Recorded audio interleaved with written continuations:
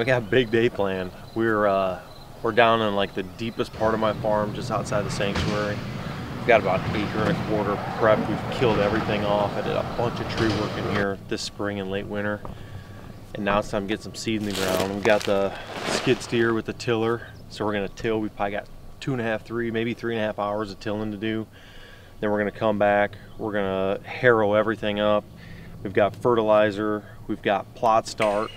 Then we'll run up, get seed. We'll hand seed it down. We're gonna plant oats and then uh, the fusion, which is clover and chicory. We're gonna get that in here and then we're gonna cultivate everything up. So it's gonna be an all day grind. It's, I mean, could take us into dark, but we're gonna get it done.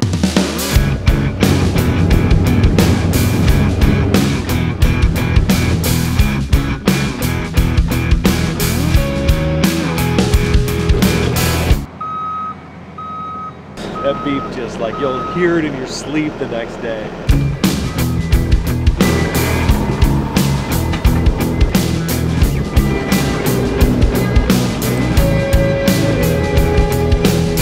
That is a wrap on tilling. Got this harrow hooked up and I'm just gonna rip around this plot.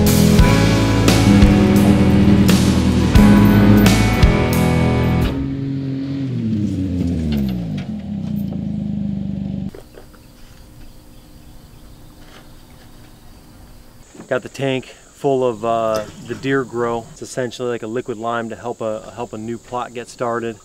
So we're gonna spray that down. And we still got to fertilize. We got to seed and cultipack. So we're chipping away at it. About half the day's done.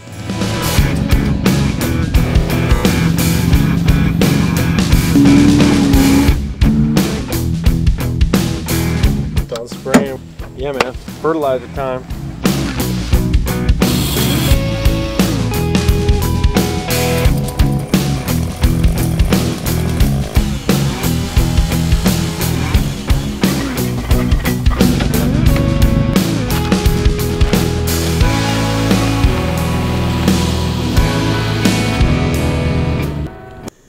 We haven't had this farm all that long. I set up the really obvious spots when we first got it, but I've realized that I needed more draw deeper in the cover. I've kind of got a situation where I'm kind of close to town. There's a bunch of big deer in town. I'm trying to pull them onto this farm. I'm trying to increase my habitat to have more does and this is a spot where they kind of cruise along the river and, and, this food plot is really to attract more does and hopefully draw a five six seven year old buck in maybe out of a sanctuary in town and get them here in this food plot in daylight. So we've probably worked up close to an acre and a quarter maybe an acre and a half. We've got a really killer banks blind setup and we just seeded forage oats now i'm coming in with clover and chicory and this is going to be just an awesome early plot. All October is going to be good, even into early and mid-November. So I'm going to run some cameras on it and see what happens. But this is kind of one of those little kill plots where I may only hunt it once or twice a year based on wind. But this is the spot. This is where I need to be.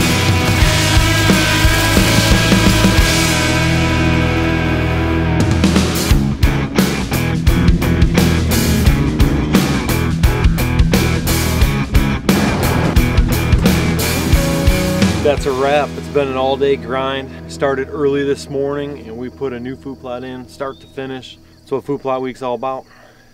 Get out there and get your plots in.